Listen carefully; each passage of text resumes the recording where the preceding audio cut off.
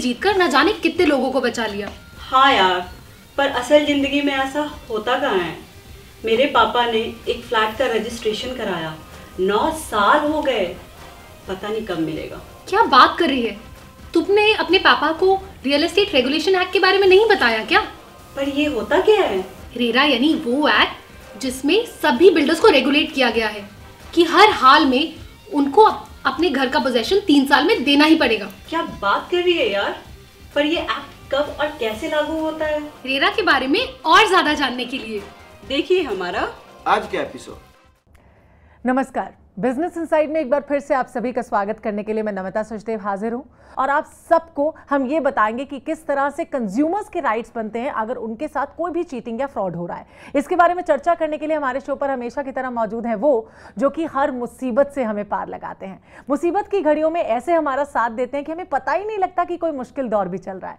अगर ज़िंदगी में किसी मोड़ पर आपको ऐसा लगता है कि ज़िंदगी जीना, आगे बढ़ना बहुत आसान नहीं है तो आपको आसानी के साथ सफलता की सीढ़ियाँ चढ़ना वो सिखाते हैं। हमेशा हमें मोटिवेट करते हैं, हमें गाइड करते हैं, हमें सपोर्ट करने के लिए हाजिर होते हैं। The one and only the hero of R show R show mentor जो एक ऑथर भी है फिलानथ्रोपिस्ट भी है, एक बहुत अच्छे इंसान है। हम सबके लिए एक इंस्पिरेशन है। So let's welcome with huge round of applause R show mentor Shri Sunil Kumar Gupta ji. बहुत बहुत स्वागत है तरह से मैंने कहा कि आज हम रेरा के बारे में बात करेंगे तो ढेर सारी ऑडियंस भी हमारे साथ मौजूद है। सबसे पहले जो मेरे दिमाग में सवाल आता है, जैसे मैंने रेरा की बात की, ये क्या है, सर? देखिए, ये एक ऐसा एक्ट है जिसकी हमारे देश को बहुत ही ज़्यादा ज़रूरत थी। और जिसको लगभग एक दशक मतलब करीब नौ साल पहले कंसीव हुआ और मई 2016 में लागू हुआ। जी। और अगर आप देखें रियल इस्टेट रियल इस्टेट एक वो सेक्टर है जिससे लगभग सौ तरह की इंडस्ट्री चलती हैं जिसकी वजह से। रियल इस्टेट एक वो सेक्टर है जिसकी वजह से अगर हम देखें तो 2022 तक लगभग साढ़े सात करोड़ लोगों को एम्प्लॉयमेंट देगा जी। जो कि जो टोटल देश में एम्प्लॉयमेंट है उसका तेरह परसेंट होगा।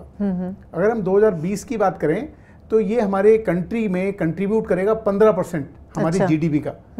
और हमारे देश में जितनी बिजली का उत्पादन होता है जितनी नीड है उसका 25 परसेंट कंज्यूम करेगा ये सेक्टर तो इन आंकड़ों से आपको पता लगता है कि कितना महत्वपूर्ण है ये सेक्टर जी। और इसी सेक्टर में ऐसे होता था कि बहुत सारी फ्रॉडुलेंट कंपनी राइट बहुत सारे ऐसे प्रमोटर जिनके पास लैंड का टाइटल क्लियर नहीं होता था लॉन्च कर देते थे और लाखों लोग फंस जाते थे फंस जाते थे। बहुत सारे ऐसे बिल्डर जिनको की जो नक्शे पास होते थे 200 फ्लैट के बनाते थे 600 फ्लैट। राइट राइट तो 400 लोग घूमते रहते थे।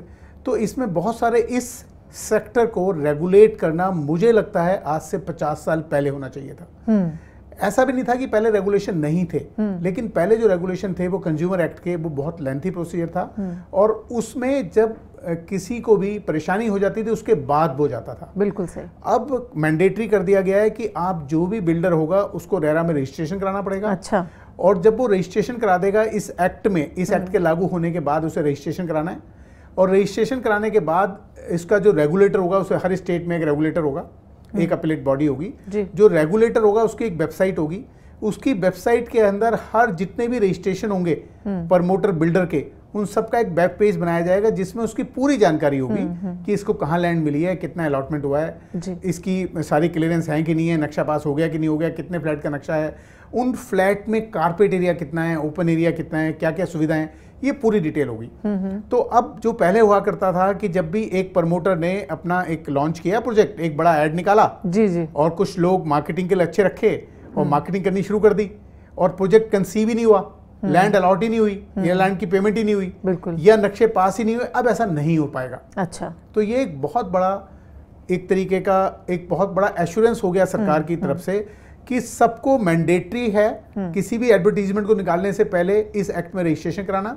रजिस्ट्रेशन जब हो जाएगा जो भी वो अपना ऐड निकालेगा या जो भी कुछ पब्लिसिटी करेगा क्लाइंट को लेने के लिए अपने फ्लैट की बुकिंग के लिए उसमें उसको वो रजिस्ट्रेशन नंबर देना बहुत ज़रूरी है। अच्छा अच्छा। तो रजिस्ट्रेशन नंबर वो जब जब देगा तो आप जाके वेबसाइट पे देख सकते हो उसकी वेबसाइट पे भी और रेगुलेटर की वेबसाइट पे भी। तो मुझे लगता है एक बहुत बड़ा स्टेप इसको रेगुलेट करने के लिए बहुत ज़्यादा ज़रूरत थी इसकी और बहुत टाइम पे आया ये मुझे लगता है बहुत पहले आना चाहिए था। बिल्कुल, लेकिन बिल्कुल। इस सरकार ने कोशिश करके इसे बहुत जल्दी इंप्लीमेंट किया। अच्छा क्या सिर्फ़ यही रीजन है सरकार का इसे लागू करने का? या कोई और भी वजह आप समझते हैं कोई पर्पस समझते हैं सरकार ने इसे लागू पहले तो मैं आपको करेक्ट कर दूँ। बहुत हद तक नहीं हंड्रेड परसेंट जी। क्योंकि अब जो भी इसमें बुक करेगा और हम्म। जो भी हमारा प्रमोटर होगा जब वो रजिस्ट्रेशन कराएगा उसे अपने सारे डॉक्यूमेंट देने पड़ेंगे अच्छा। और पूरा ट्रांसपेरेंट होगा। अच्छा। एक्चुअली ये इसलिए किया गया कि ये सेक्टर ट्रांसपेरेंट हो। क्योंकि ऐसा नहीं है कि सभी बिल्डर बदमाश हैं। हम्म। ऐसा भी नहीं है कि सभी बिल्डर फ्रॉड करते हैं बहुत सारे बिल्डर सैकड़ों लाखों बिल्डर ऐसे भी हैं जो अच्छा काम कर रहे हैं जो time पे देते जो टाइम पे डिलीवरी भी देते हैं और सब कुछ बताते भी हैं तो ट्रांसपेरेंट करना चाहते हैं सिस्टम को कि जो अच्छे बिल्डर हैं वो सामने आए हम्म। और जो फ्रॉडुलेंट बिल्डर हैं या जो कुछ अपना प्रॉफिट के लिए जनता को मूर्ख या बेवकूफ़ बनाते हैं Right. आम जनता को वो ना बना पाए हम्म। और उनको सबको डिक्लेयर करना पड़े और जो आम इंसान है क्योंकि एक मकान एक ऐसा सपना होता है कि उसमें वो आदमी का ड्रीम होता है कि मैं अपना मकान बनाऊँ। तो जैसे ही वो एक ऐड देखता है जो बहुत लुभावना होता है जिसमें बड़ी अच्छी फ़ोटो होती है स्विमिंग पूल भी होता पे है आ जाता है newspaper तो- के। हाँ तो उसमें उसे लगता है कि बुक कर देना चाहिए। बिल्कुल वो ये नहीं देखता कि इसका रजिस्ट्रेशन कहाँ है लैंड का टाइटल क्या है इसे लैंड मिली नहीं मिली लैंड का पेमेंट हुआ कि नहीं हुआ। हम्म। इसके मेरा जो फ्लैट ये कह रहा है पंद्रह सौ फुट का होगा वो इनफैक्ट कारपेट उसका कितना है? हम्म। उसमें क्या क्या जोड़ा हुआ है? वो क्योंकि जो बिल्डर बेचता है वो सुपर एरिया करके बेचता है। सही कहा। तो उसमें कारपेट बहुत कम होता है। उसमें बालकोनी जो है उसकी मिली हुई है कि नहीं मिली हुई कारपेट में? हम्म। ठीक बात एक्सक्लूसिव बालकोनी मिली है कि नहीं मिली? जनरल बालकोनी और जनरल पैसेज का क्या पोजीशन है? हम्म। और जो ओपन एरिया में मेरी पार्किंग है बिल्डर वो भी बेच देता है। अच्छा। जबकि ओपन एरिया का तो उसी का पैसा है। बिल्कुल सही। और बाद में जो सारा जनरल एरिया बचता है किसी हम्म। भी आपने देखा होगा कि बिल्डेड फ्लैट में या सोसाइटी में या। किसी भी आपको कॉलोनी में तो वो सारा का सारा उनकी जो वेलफेयर सोसाइटी होती है उसको ट्रांसफ़र हो जाता है। मतलब वो उन सब लोगों का मिला के एरिया होता है। हम्म। बिल्डर उसको भी अपने समझ के इस्तेमाल करता रहता रहता है। कभी एफ़ बढ़ा तो उसमें एक और टावर खड़ी कर देता है तो वो अब सब नहीं हो पाएगा। अच्छा इसके अलावा आपने रीजंस तो बताए लेकिन कोई पॉलिसीज़ फ्रेम की गई हैं जिनके चलते ये एक्ट लागू किया गया? बिल्कुल एक्ट लागू हो गया। इस एक्ट में मैंडेटरी है कि रूल्स हर स्टेट को नोटिफाई करने पड़ेंगे अच्छा। क्योंकि ये एक स्टेट सब्जेक्ट है। एक्ट बना दिया गया रूल्स हर स्टेट को करने हैं। अगर आज की बात करते हैं तो हम एक जून की बात देखते हैं तो 18 हमारे जो स्टेट और यूनियन टेरिटरी है उन्होंने रूल्स नोटिफाई कर दिए हैं। बाकी अच्छा, 10 स्टेट ने ड्राफ्ट रूल निकाले हुए हैं तो वो भी मुझे लगता है बहुत जल्दी हो जाएगा। और हर स्टेट को एक रेगुलेटरी अथॉरिटी बनानी है एक अपीलेट बॉडी बनानी है। रेगुलेटरी अथॉरिटी होगी जिसमें सारे रजिस्ट्रेशन होंगे। अच्छा और अगर मैं एक होम बायर की बात करती हूँ एक कंज्यूमर की बात करती हूँ जिनकी हम बात कर रहे थे कि एक सपना होता है उनके लिए अपना मकान खरीदना उनको पूरी तरह से किस तरह से बेनिफिट मिलने वाला है इसका? देखिए उनको क्योंकि अब क्या होगा कि जो वो फ्लैट बुक कर रहे हम्म। हैं वो बिल्कुल ट्रांसपेरेंट होगा। कि मान लीजिए आप एक फ्लैट ले रहे हैं 900 फुट का हाँ। तो आपको पता लगेगा कि इसका कारपेट एरिया क्या है। कारपेट एरिया मतलब जो आपको यूजेबल एरिया मिलेगा। तो आपको पता लगेगा मेरे फ्लैट का कारपेट एरिया ये है बिल्टअप एरिया ये है। बिल्टअप में उसकी वॉल्स भी आ जाती हैं। और कॉमन एरिया जोड़ दें तो सुपर एरिया आ जाता है। अच्छा टोटल तो, हाँ तो इसका मतलब उसको पता होगा कि मैं कितना इस्तेमाल करूँगा इसमें से। इसके अलावा कंज्यूमर को यह भी पता होगा कि यदि मेरे को टाइम पे नहीं देता कोई भी बिल्डर फ्लैट तो उसके बदले में उसे पैसा वापस ले सकता है अपना इंटरेस्ट ले सकता है और भी बहुत सारे कंपनसेशन है जो कि वो क्लेम कर सकता है। अच्छा। तो आप एक ट्रांसपेरेंट सिस्टम हो गया और बुकिंग में भी अब आपको कुल 10 परसेंट देना होगा। 10 परसेंट दे के आप उसके सारे डॉक्यूमेंट वो आपको बताएगा। आप अपनी बुकिंग कर सकते हैं और जो एग्रीमेंट होता है वो बिल्डर या जो प्रमोटर है उसके साथ कर सकते हैं। अच्छा एक अच्छी बात जो मुझे लगती है यहाँ पे पूछनी चाहिए प्रमोटर्स जो हैं जो हमारे बिल्डर्स हैं उनके लिए क्या एलिजिबिलिटी क्राइटेरिया है कि वो इसमें रजिस्टर कर सकते हैं खुद को? सभी बिल्डर को इसमें रजिस्ट्रेशन करना है। हम्म, चाहे वो छोटे फ्लैट्स बना रहे हैं चाहे बड़े फ्लैट्स नहीं इसमें तीन एग्जामेशन दी हुई है इस एक्ट में। एक वो जो 500 मीटर से कम के प्लॉट में अपनी बिल्डिंग बना रहे हैं। और यदि वो आठ फ्लैट से कम बना रहे हैं अच्छा तो अच्छा। उनको इसमें रजिस्ट्रेशन नहीं कराना नहीं कराना। है, इसका मतलब हो गया 500 मीटर से ऊपर जो भी प्लॉट पे बनाएगा उसको रजिस्ट्रेशन कराना कंपलसरी है। है। दूसरी बात है कि जिन लोगों ने अपना बिल्डिंग का कंप्लीशन सर्टिफिकेट ऑप्टेन कर लिया है एक्ट लागू होने से पहले उन लोगों को रजिस्ट्रेशन नहीं कराना क्योंकि वो तो कंप्लीट कर चुके बिल्डिंग तीसरी यदि आप अपनी बिल्डिंग का रिनोवेशन करा रहे हैं रिपेयर करा रहे हैं या रीडेवलपमेंट करा रहे हैं तो भी एक्ट आपके ऊपर लागू नहीं होता। तो तीन कंडीशन है जिस पे ये एक्ट आपके लागू नहीं होगा बाकी सभी कंडीशन में हर बिल्डर को रजिस्ट्रेशन कराना ही पड़ेगा। फ़िलहाल रुक रहे एक ब्रेक के लिए जल्द लौटेंगे आप कहीं मत जाइए। जब वो रजिस्ट्रेशन करता है तो उसमें उसे एग्रीमेंट का फॉर्मेट भी देना पड़ेगा। और उस फॉर्मेट में कोई भी वो एक तरफा क्लॉज नहीं लग सकता क्योंकि उसको रेगुलेटरी अथॉरिटी जाँच करेगी तब अलाउ करेगी कि ये एग्रीमेंट आप कंज्यूमर से कर सकते हो कि नहीं कर सकते। कीजिए नए बिज़नेस की शुरुआत जानिए बिज़नेस की हर बात। मेरे साथ। समझ, तभी आती है बिज़नेस की बातें, जब सुनील कुमार गुप्ता जी हैं बताते। अब से हर शनिवार सुबह 10 बजे बिज़नेस इनसाइड में।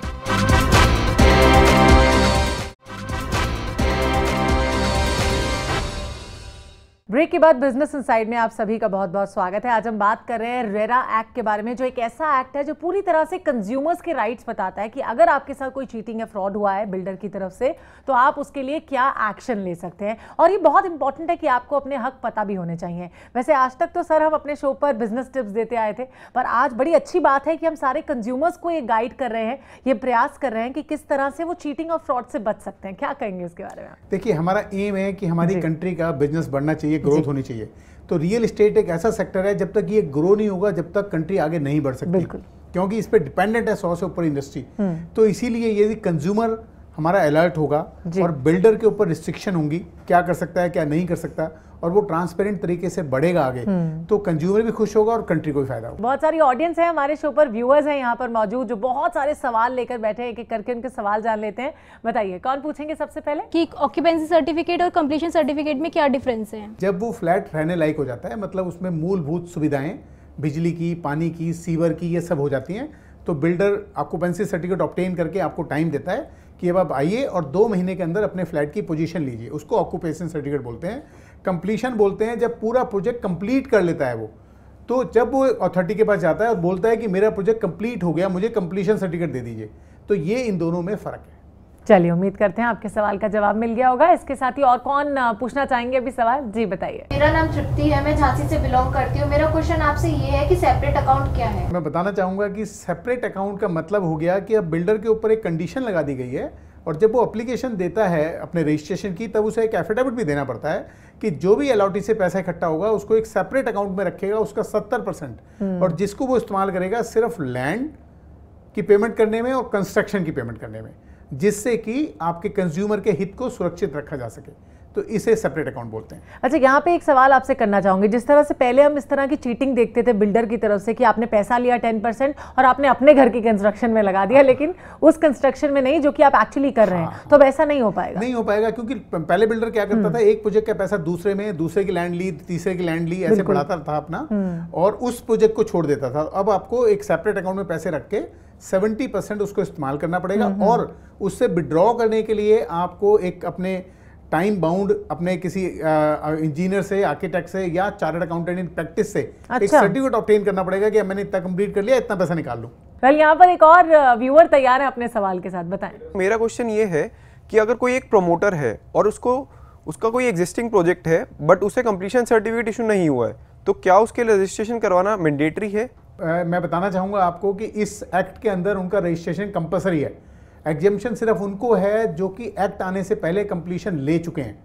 अगर कंप्लीशन सर्टिफिकेट आपने ऑब्टेन नहीं किया तो आपको रजिस्ट्रेशन ज़रूर कराना पड़ेगा। इसी के साथ एक और यहाँ पे ऑडियंस में से हैं जो सवाल करना चाहते हैं बताएँ। मेरा क्वेश्चन ये है कि एक प्रमोटर को रेरा में अप्लाई करने के लिए क्या क्या डिटेल्स चाहिए होती हैं? उसके लिए बहुत सारी डिटेल उसे सबमिट करनी पड़ती है जैसे कि अपना एप्लीकेशन फॉर्म वो देता है उसमें पिछले पाँच साल में उसने कितने प्रोजेक्ट किए हैं उनकी डिटेल देता है। उसके बाद इस प्रोजेक्ट, जिसके रजिस्ट्रेशन के लिए वो गया है, उस प्रोजेक्ट में लैंड की डिटेल देता है। लैंड कैसे परचेज की, उसका लैंड यूज़ चेंज किया, क्या किसानों से लेकर के, या किसी डेवलपमेंट अथॉरिटी से ली, या गवर्नमेंट ने उसे अलॉट की, उसके पूरे डॉक्यूमेंट उसे देने पड़ते हैं। अपने जो अप्रूव मैप हैं सेंक्शन हो चुके मैप वो डिटेल देनी पड़ती है।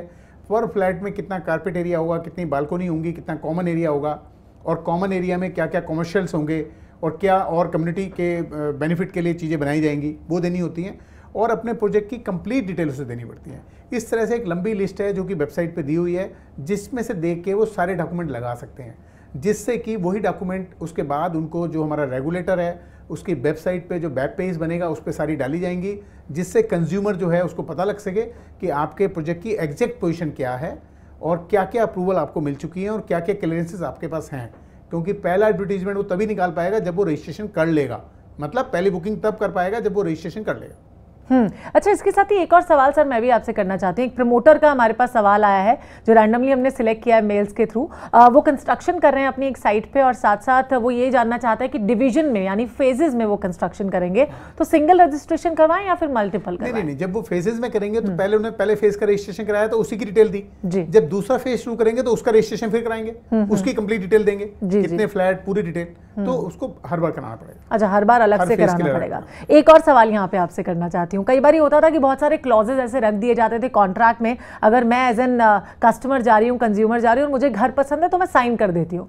लेकिन उसमें अ, ऐसी कौन सी चीज़ें हैं या कोई ऐसे क्लॉज हैं जो आप अपने मन से बिल्डर नहीं रख पाएँगे? अब तो उसको पहले ही एग्रीमेंट का फॉर्मेट देना पड़ेगा। जी, जी। जब वो रजिस्ट्रेशन करता है तो उसमें उसे एग्रीमेंट का फॉर्मेट भी देना पड़ेगा। और उस फॉर्मेट में कोई भी वो एक तरफा क्लॉज नहीं लग सकता क्योंकि उसको रेगुलेटरी अथॉरिटी जाँच करेगी तब अलाउ करेगी कि ये एग्रीमेंट आप कंज्यूमर से कर सकते हो कि नहीं कर सकते। यानी यहाँ पे अलर्ट अब रहने वाले हैं प्रमोटर्स भी और कंज्यूमर्स भी। वो कहते हैं ना सावधानी हटी तो दुर्घटना घटी लेकिन अब ऐसा नहीं होने वाला है क्योंकि जब सभी सावधान होंगे तो कोई प्रॉब्लम आगे चल के होगी नहीं। फ़िलहाल यहाँ पर रुक रहे हैं एक छोटे से ब्रेक के लिए। हम जल्दी वापस लौटेंगे आप कहीं मत जाइए। रेगुलेशन हर जगह ज़रूरी है चाहे आदमी का व्यक्तिगत जीवन हो चाहे व्यावसायिक जीवन हो दोनों में रूल्स रेगुलेशन ज़रूरी हैं। और अगर रियल एस्टेट की बात करें तो उसमें सबसे ज़्यादा ज़रूरी है, क्योंकि ये सीधा सीधा मुद्दा लोगों की भावनाओं से जुड़ा हुआ है। कीजिए नए बिज़नेस की शुरुआत, जानिए बिज़नेस की हर बात मेरे साथ। समझ तभी आती है बिज़नेस की बातें, जब सुनील कुमार गुप्ता जी हैं बताते अब से हर शनिवार सुबह 10 बजे बिज़नेस इनसाइट में।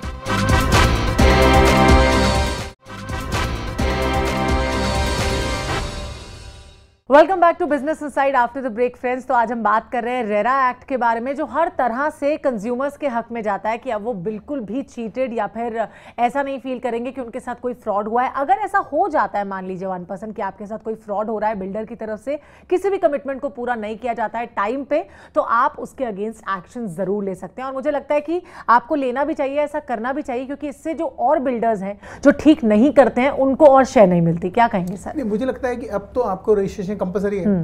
तो आप जब भी कोई फ्लैट बेचेंगे तो उससे पहले आपको रजिस्ट्रेशन कराना ही। है जी। तो वो तो सवाल है ही नहीं कि रजिस्ट्रेशन कराएँ कि नहीं कराएँ उसके बगैर तो बेच ही नहीं पाएँगे। बिल्कुल। तो रजिस्ट्रेशन कंपलसरी है इस एक्ट में। हम्म तो ये बहुत अच्छी बात है और इसके साथ ही जो ऑडियंस है वो भी तैयार है अपने सवालों को लेकर।